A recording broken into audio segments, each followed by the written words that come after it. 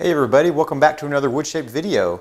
So I have a special project today and this is a journal box that I made for my wife's birthday. This is a unique project in that I start out with the log, so it's log to lumber and then lumber to the, the end project, the end result. And so definitely stick around, check out this video, check out the book matching on the lid for the box and you're gonna love it. So we'll see you at the end.